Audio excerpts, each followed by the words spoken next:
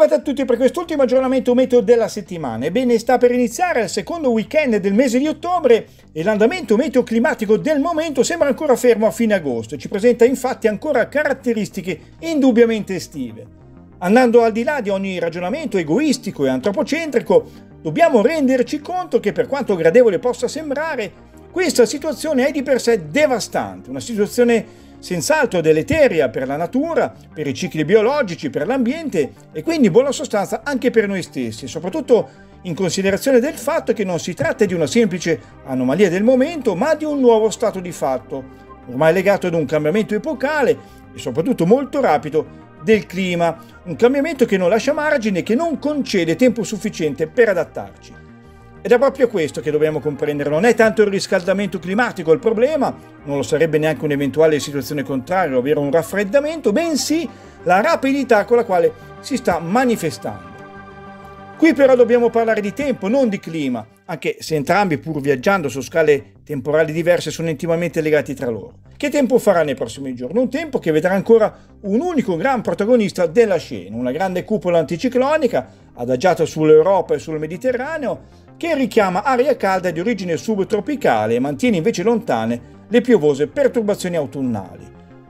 Questa struttura anche nei prossimi giorni continuerà a rinvigorirsi e a mantenere sull'Italia tempo stabile, in prevalenza soleggiato, asciutto, senza precipitazioni e più caldo del normale.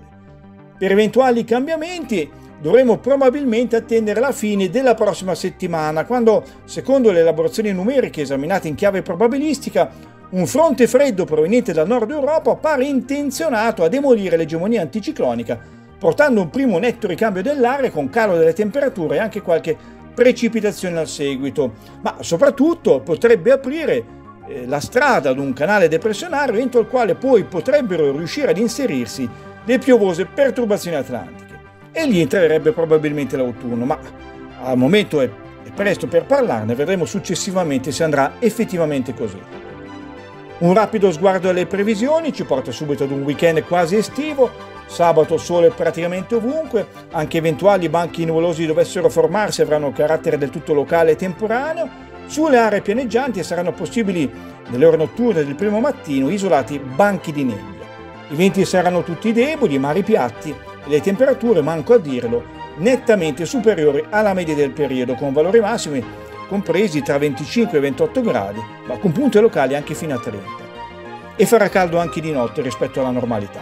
Domenica giornata praticamente identica, da segnalare solo un certo rinforzo del vento da nord in quota sulle Alpi e lungo il versante adriatico, con il mare che diventerà a tratti mosso, per il resto gran sole. Verso fine giornata transito di velature e banchi nuvolosi comunque sottili sul Triveneto e sulle Alpi centrali ma senza conseguenze. Temperature stazionarie, ancora punte locali fino a 30 gradi. Infine la tendenza per l'inizio della prossima settimana che vedrà ancora tempo in prevalenza soleggiato, a tratti solo un po' velato, parzialmente nuvoloso sul Triveneto, le temperature si manterranno ancora su valori attuali, quindi decisamente più alte del normale. Bene, con questo abbiamo terminato. Se volete rimanere sempre aggiornati iscrivetevi al canale, invitate i vostri amici a farlo. Io con questo vi ringrazio per l'attenzione, vi saluto e vi auguro un buon fine settimana. Vi attendo al prossimo video, a risentirci da Luca Angelini.